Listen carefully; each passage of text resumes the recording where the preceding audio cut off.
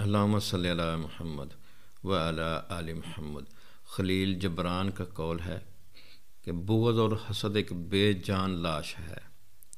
پھر تم میں کون ہے جو ان کی قبر بننا پسند کرے؟